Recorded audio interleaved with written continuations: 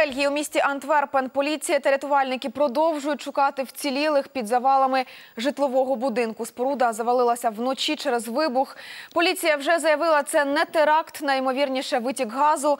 Як повідомляє місцеве телебачення, вдалося встановити контакт із людьми, яких засипало уламками. Сімох вже дістали серед врятованих, зокрема жінка із дитиною. Ще троє досі під завалами. Формально їх вважають зниклими безвісти, але шанси врятувати людей великі.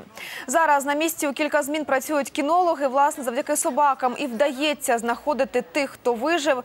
За оцінками жертвами обвалу можуть бути 20 людей. Постраждалих вже понад 21 у критичному стані.